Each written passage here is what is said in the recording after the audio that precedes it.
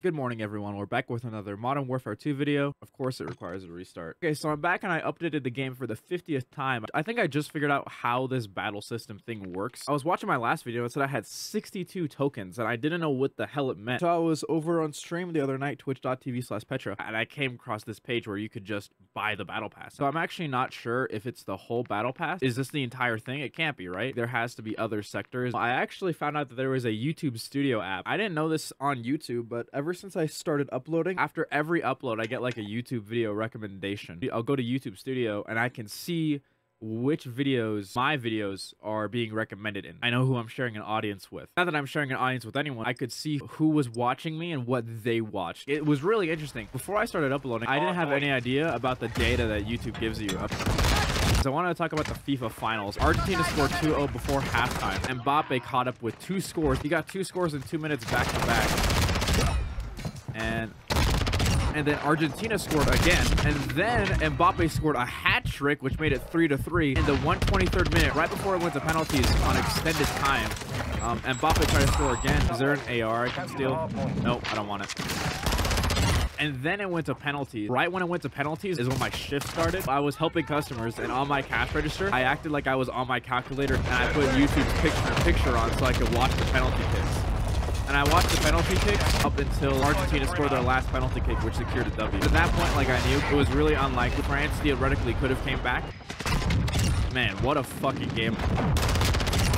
I saw Elon Musk's poll. I think Elon Musk was bound to retire no matter what. With the rate that Twitter was going down, it was literally just a money pit. With the way that he bought Twitter, no matter what Twitter did, unless it had literally everyone in the world using it every single day at every minute of the day, it would not have gotten out of the debt that Elon Musk put the company into. He's only going to let Twitter Blue users vote on polls now that affect policy. I saw a clip from the Impulsive podcast of Logan Paul talking about religion. There's two parts to me. There's part of me that agrees with Logan there is a book that openly reprehends homosexuality. I personally think that's ridiculous. I grew up in a religious family, and I was like the only one growing up who was not religious. Growing up, I was religious until I started to think for myself myself a little bit. And I started questioning the Bible. I started asking way too many questions for me to keep on believing and feel comfortable with it. So that's when I decided to no longer identify with any religion. And when I tell people that, they try and tell me, oh, you're agnostic. No, I'm not. I'm not agnostic. I'm not Christian. I'm not anything. I don't believe that there is no God. I don't believe that there is God. I don't really have an opinion on the matter. What I do have an opinion on is how you go about that belief. My mom's religious.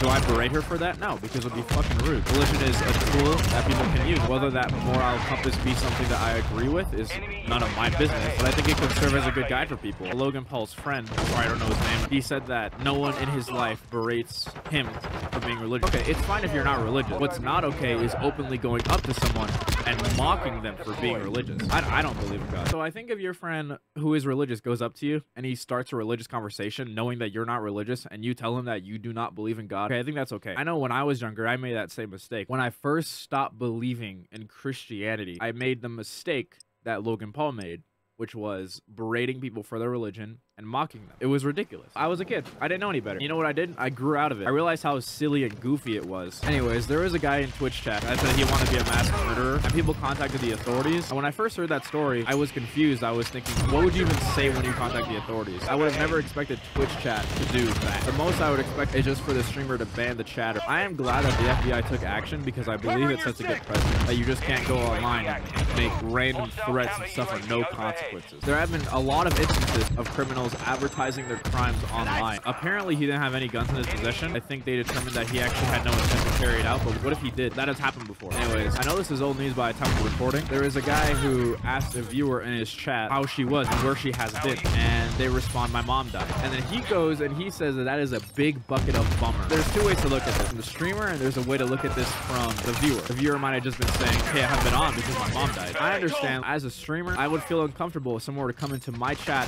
and unprompted out of nowhere tell me news like that because I don't know what you want me to say. It's different when you ask someone, hey, where have you been? And then they tell you, my mom died. I haven't been on because of that. And then he goes on like for 10 minutes shitting on this regular of his. The viewer goes on Twitter and apologizes. I know that trauma dumping and parasocial relationships have been an issue in the Twitch community for a while where viewers will start to think that they are your friend. That is 100% a real issue, but I don't believe that's what happens here. I actually watched a little bit of his response video where he said that the viewer brought it up like two or three times until he acknowledged it. He said that the viewer brought her mom dying up like two or three times until he acknowledged it. Anything would have fucking been better than what he said. I think the issue of parasocial relationships is definitely something that should be brought up more in the streaming community. However, I don't think it should be brought up as a direct correlation. He literally just asked you like, where the fuck have you been? It all depends. If someone were to come into my chat and trauma dump like out of nowhere. I don't know who they are. That's kind of weird, but context does mean everything. He brought it up multiple times, but at the same time, you asked the question. Apparently, oh yeah, he also got mad because she didn't respond the way that he wanted him to respond. When I first saw his reaction, I thought he was going to do a bit. He said there's two ways to respond to someone when they ask, how are you? If someone asks me how I've been and I don't know the person, I'm just going to say, oh yeah, dude, like I've been okay. Like, how are you? But if I know the person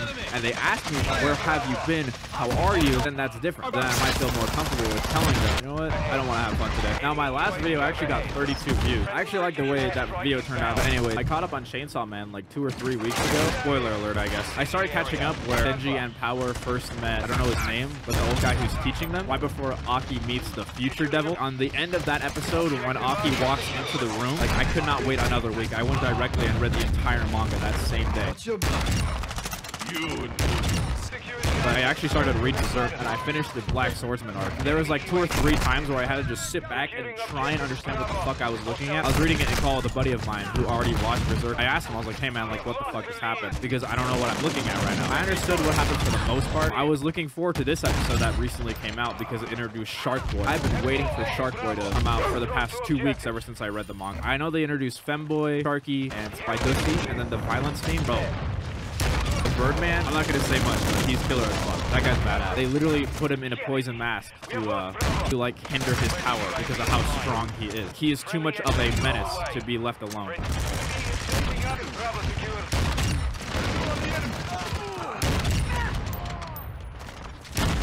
I just played a Fortnite game right before I started recording. I dropped a 23 kill win. Literally yesterday night before I went to work, I played like five games.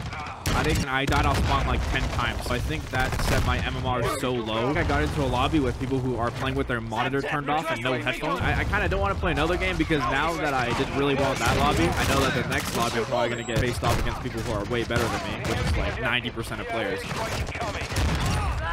But I want to have fun now. By the time my sniper reloads, they've already captured an objective and voted for 2024. They're all just holding that corner. We're not doing anything about it. Yep, there they go. Now they're actually pushing. Fuck you. I'm really trying to make YouTube or streaming like my job. I know it sounds unrealistic. I don't have combined, I don't have a thousand followers on social media. My dream be able to make twice of what I'm making right now at my nine to five job on internet content. On days that I have off, what I'll do is I'll edit from 7 in the morning until around 11ish and then I'll take a little break I'll hit the gym at 3 p.m I'll usually start by stream and stream until 8 and that's about 9 hours per day that I'm putting into making content right before I started recording or streaming I was literally playing with no headphones on listening to a podcast and eating breakfast and I dropped 23 kills and won the game I'll go online and I'll stream and I'll like be giving my full attention and then I'll just die off spawn 10 times I think I just get too mental I think this is my fifth or sixth video that I'm recording and I'm a lot more comfortable than I was in my first recording. My first recording, I was really nervous when I was recording that video because I was just thinking like, oh, what is the viewer going to think? Is the viewer going to watch? How's the retention rate? I was thinking about all that dumb shit. And I wasn't just sitting back and playing games, which when I, I'll, I was talking to my friend who's also a YouTuber. I'll link his channel in the description. And I asked him what he honestly thought about my videos. I told him to tell me if they're bad. He said that they were entertaining and that he's never seen uh, videos like it where it's live commentary while playing a game.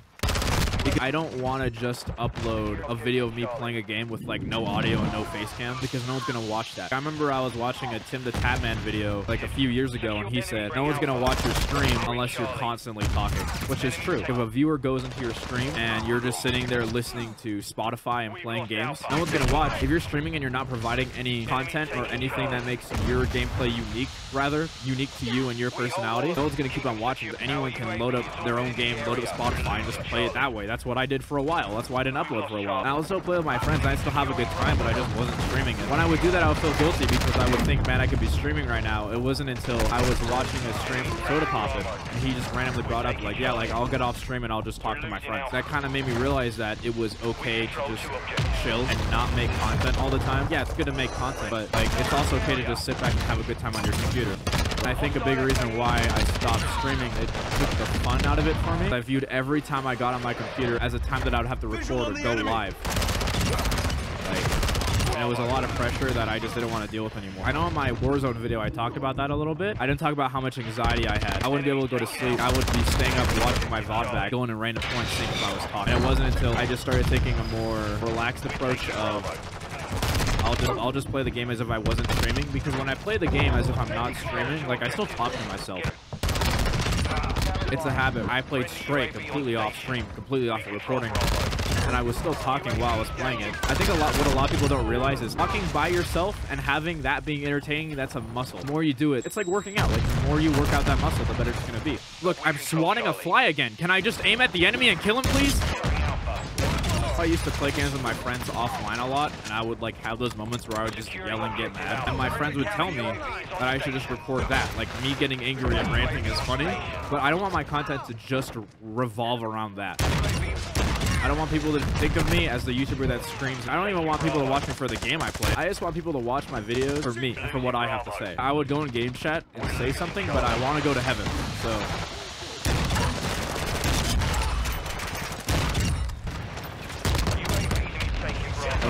Okay, okay. Can I breathe? I, I can't even tell what's happening. I might as well be playing with a fucking blindfold on. Anyways, we won. Uh, my day's gonna be good now. If we lost that game, I would have been pissed. I don't know. I think I'm gonna wrap up this video with just saying that I want people to watch my videos for me and what I have to say, rather not the game that I'm uploading. That's it. Peace.